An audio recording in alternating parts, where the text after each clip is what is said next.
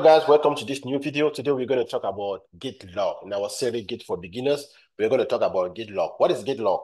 Git log is just a file that track actually your commit. It's a file that is used to track your commit and it will show you the commit message, which is the same that you can see uh, on GitHub. And it will also show you the commit message and it will show you who did that commit. So let's go into the terminal and try to see how to practice this. So usually on GitHub, for example, if you go to GitHub and you go to commit, you'll be able to see all the commit, right? If you go to GitHub, you'll be able to see all the commit. For example, these are all the commit on this branch as of now.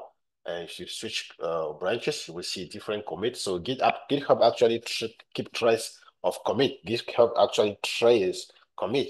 Now, how do we see this in the terminal? How do we use Git instead of GitHub to see this commit? As you can see here, it will show you the commit, the commit message, and who did the commit here, right? Dell support did the commit, and it will tell you when the commit was done. But now, how do you see this, for example, in the terminal? Sometimes you are working on the terminal and you don't have time to go, uh, for example, on GitHub to check all this. So do, how do you make this happen on the terminal? It's simple. To see that, you just have to say, for example, if I say git branch, it will show me that, hey, I am actually on, on the main branch. Now, if I say git log, it will show me all the commit on the main branch with the commit number. So these are the same commit that you see, for example, on GitHub. So to get this happen, you just have to say git log, but it's going to show you the commit that you have, for example, on that branch. So uh, if you want to exit this, you type Q, for example. Now, let's make a couple of commit, right? Let's make a couple of commit. So let me say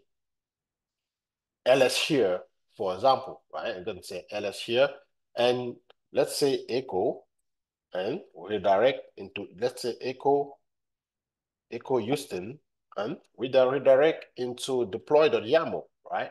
We say echo Houston, redirect into echo and deploy.yaml. Then we say git add, git commit hyphen m. Let's put a commit message.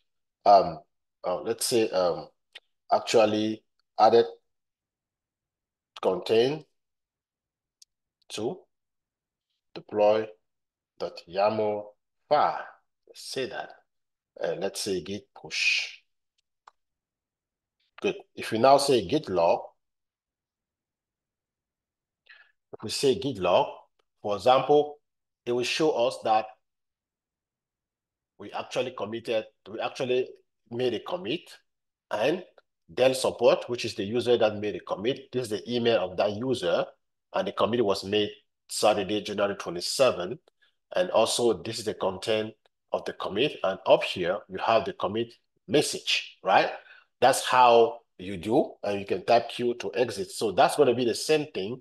If I come down here and refresh and switch the branch, for example, um, switch my branch to main, you will see added content to deploy.yaml file, which is the same thing that we saw there. So that's how you do instead of like going to see all the commit on GitHub, you can use git log to go ahead and get a commit. Then, and those commit are based on the branch, right? Those commit are based on the branch. If you switch your branch right now and add another commit, you'll be able to see that. Let's say, for example, uh, if I say git branch hyphen hyphen all,